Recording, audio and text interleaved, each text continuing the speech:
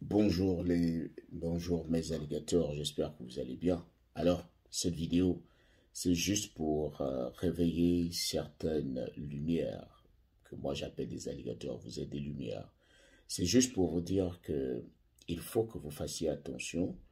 Je sais qu'il y a plusieurs réseaux qui vous contactent, qui vous proposent des chemins très très faciles toute façon, il suffit que tu me donnes 5 millions, je te donne le visa. Le visa n'est pas, le visa américain, on le donne pour corps de garde.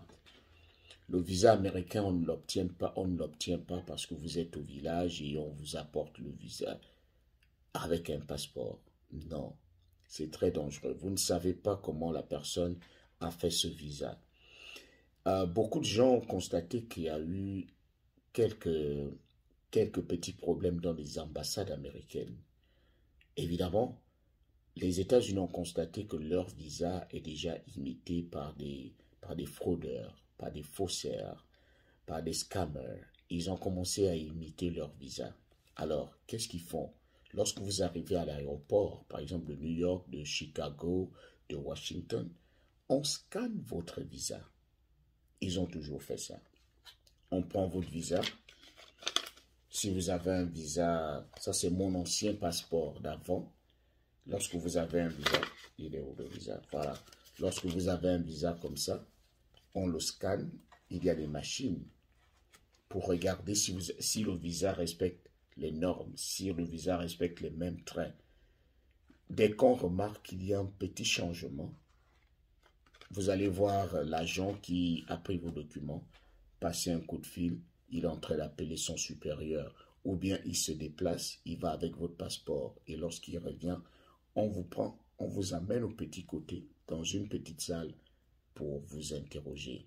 Parce qu'on va vous demander comment vous avez eu ce visa. Donc, faites tout. Utilisez des agences, utilisez des personnes qui vont vous entraîner à obtenir votre visa normalement. Et tous les visas légaux s'obtiennent à l'ambassade des États-Unis. N'acceptez pas un visa qu'on va venir vous remettre à la maison.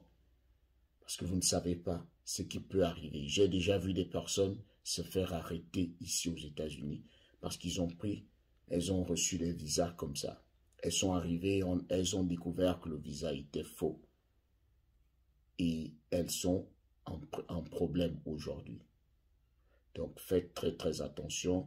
C'est vrai que tout le monde veut venir aux États-Unis, mais il faut faire attention avec qui vous dealez également. Passez vos interviews. Allez toujours à l'ambassade prendre votre passeport là-bas. Allez-y passer l'interview. N'acceptez pas de prendre un visa sans que vous ne passiez l'interview. Donc, à bon entendeur, salut. Je ne vais pas entendre qu'on a arrêté un de mes alligators parce qu'il a voulu utiliser certains moyens illégaux. Non, ce n'est pas bien.